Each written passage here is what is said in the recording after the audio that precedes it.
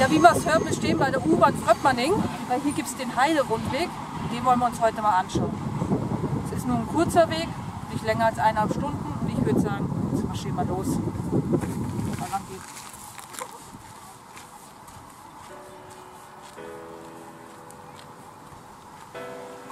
Das Ding da, das Haus, das ist das Heidehaus. Aber es hat eigentlich immer zu und nur selten offen. Also wir haben es noch nie offen auch gesehen. Und was genau dieser Heideweg ist, das ist ein Rundweg. Es geht auch über verschiedene Themen. Und früher war hier ein Truppenübungsplatz. Jetzt ist es Naturschutzgebiet. Und das schauen wir uns jetzt mal genauer an. Aber jetzt geht es erstmal da lang. Da sieht man schon das erste Schild. Hier geht es jetzt um die Lebensräume der Heide und zwar um die Landschaft. Und da steht schon auf den ersten Blick vermittelt die Heidelandschaft Eindrücke, die an Kargheit und Wassermangel erinnern.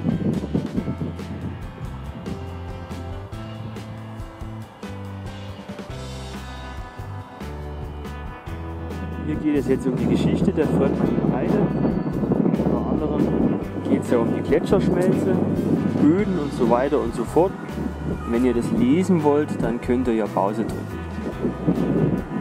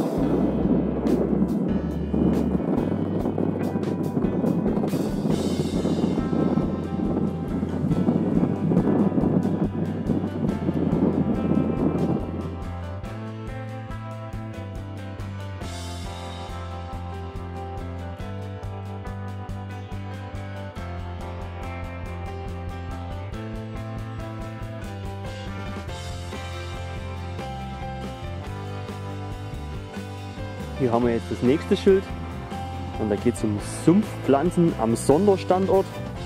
Und ich glaube, das erklärt sich von selber, weil da hat man so eine Art Sumpf, so ein kleiner. Wenn man da genau hinschaut, sieht man da sogar das Wasser stehen.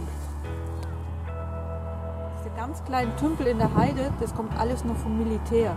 Weil damals sind ja hier mit dem Panzer rumgefahren, haben hier die ganze Erde zermalmt, dann wieder verdichtet und durch das Regenwasser sind so kleine Tümpel entstanden.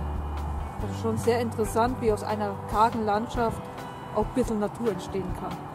Und da hinten ist jetzt schon die nächste Tafel und da gehen wir jetzt gleich wieder hin.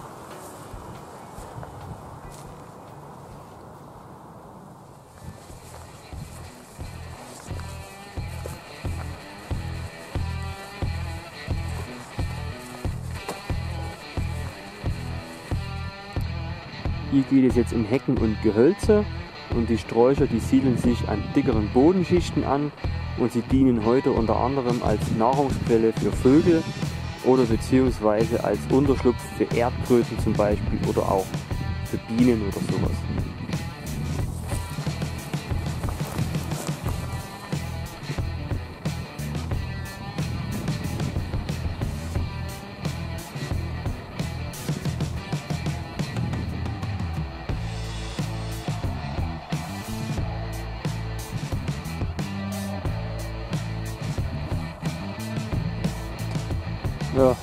Ruhe ist jetzt vorbei, weil jetzt kommen die Fußballfans.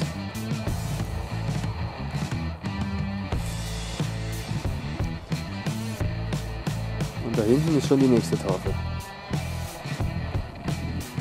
Hier geht es jetzt um den Sanddorn, das ist ein Weidengebüsch und der siedelt sich sehr gerne auf kargen Schotterböden an und der verteilt seine frischen Weidensträucher gegenüber Weidetiere mit Dornen. Und was bei dieser Pflanze auch noch interessant ist. Männlein und Weiblein sind nicht auf einer Pflanze zu finden, sondern es sind getrennt geschlechtliche Pflanzen. Und sowas kommt nicht häufig in der Pflanzenwelt vor. Ein sehr interessantes Gestrüpp.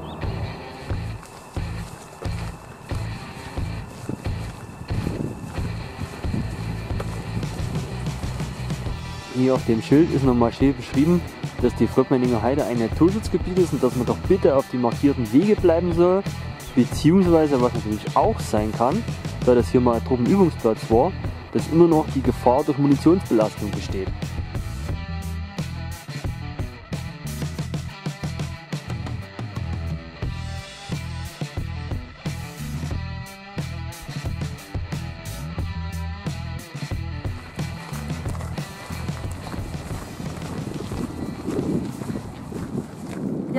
Heide, wo wir gerade sind, da ist es immer ziemlich windig, weil es hier ziemlich freie Fläche ist. Und trotzdem ist es ein richtig schönes Gebiet, auch richtig schön groß, aber der Rundweg ist nur ein kleiner Teil davon. Und da ist auch schon das nächste Schild. Hier sieht man jetzt irgendwelche Rillen, wahrscheinlich wirklich vom Militär.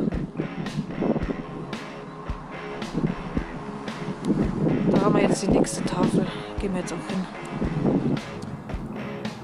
Hier auf diesem Schild geht es jetzt um Kiesrippen und Panzerspuren und da steht geschrieben, dass die Geschichte der Fortmanninger Heide am meisten geprägt worden ist durch Panzer und natürlich auch durch die Benutzung durch explosive Stoffe von den Soldaten.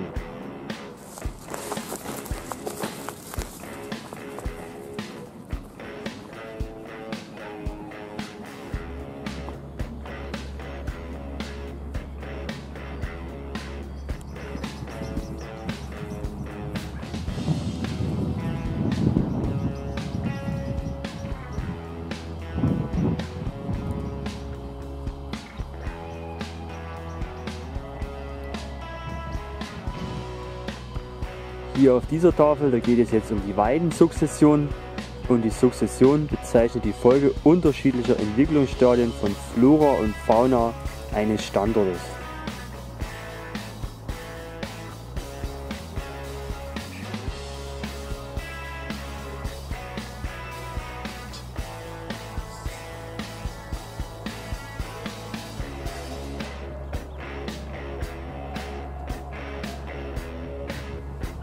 Hier auf dieser Tafel, da geht es jetzt um Wurzelwall und Steinhaufen.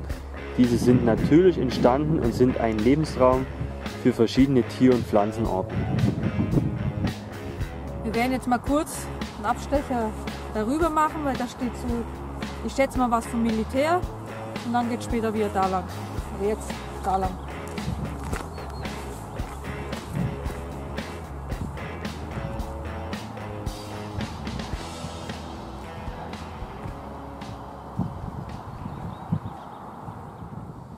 Das, was man hier so sieht, das ist so eine Art Wald oder was das ist.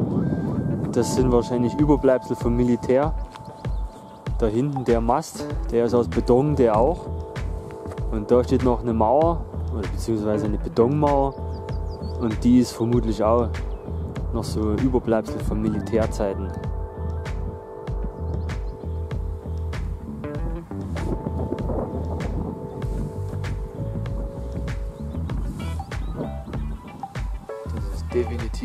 Militärisch, das sieht man. Da sind auch noch welche Betonreste, Mauerreste. Aber was das war, wissen wir nicht. Das ist irgendein Betonmast. Fast ein bisschen zu hoch für eine Laterne, aber das kann schon sein.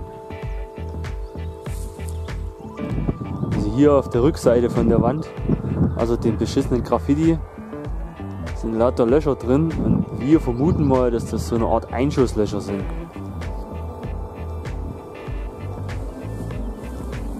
Und da sind noch lauter so Wälle, wo wir auch nicht genau wissen, was es ist, aber alles auf jeden Fall militärischen Ursprungs.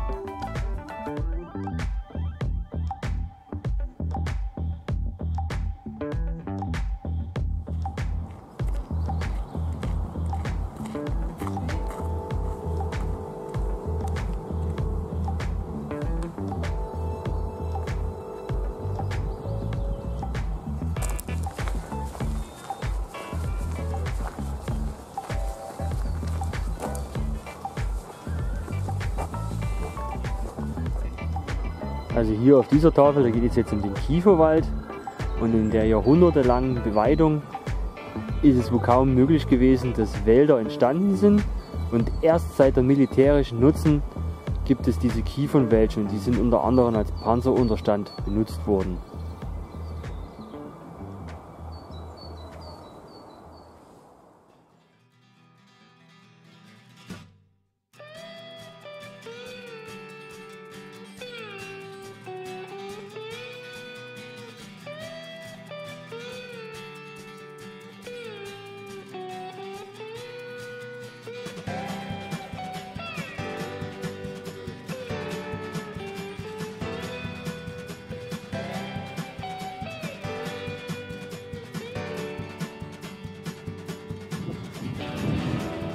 Hier auf diesem Schild geht es jetzt um die Heide in Wickeln und da steht nichts anderes wie, dass die Frottmanninger Heide ein Schutzgebiet ist, das eine europäische Bedeutung hat und das Ziel ist, oder beziehungsweise ist es mittlerweile passiert, dass dieses Gebiet der Öffentlichkeit als Umweltbildungsgelände zugänglich gemacht worden ist.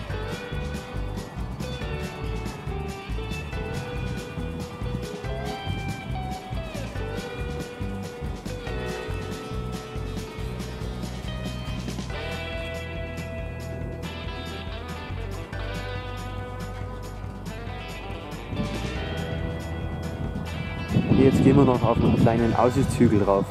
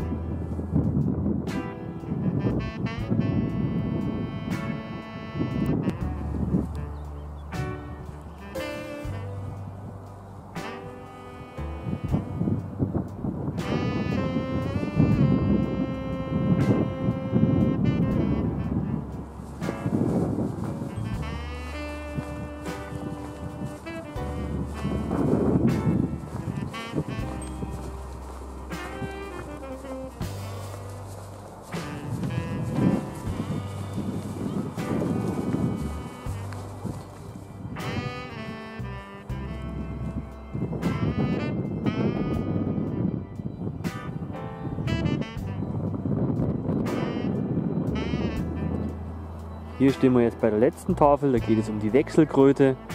Und überall bei solchen Pfützen, die da so in der Heide versteckt sind, da könnte es unter anderem sein, dass es ein Laichgewässer von diesem Tier ist.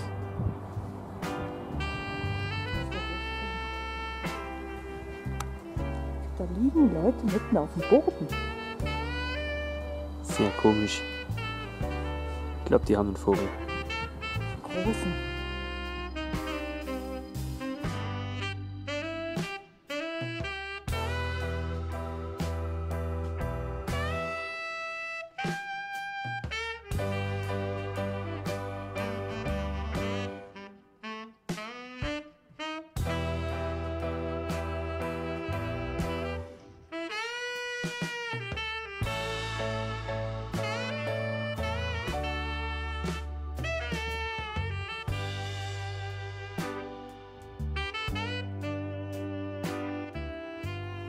Das war jetzt der Heiderundweg. Wir sind noch zurück wieder am Haus.